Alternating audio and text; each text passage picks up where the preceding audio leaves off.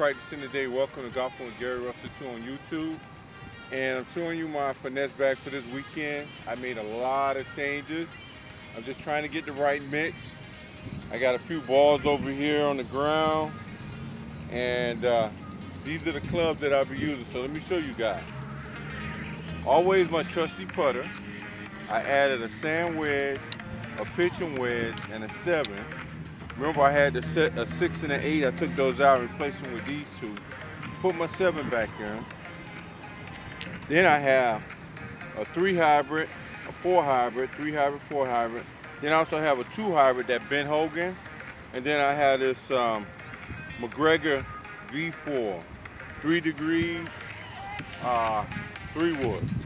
So basically guys, what you're looking at, you're just looking at eight clubs. That's it.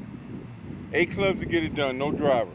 So I want to thank you guys for looking at my workout this week.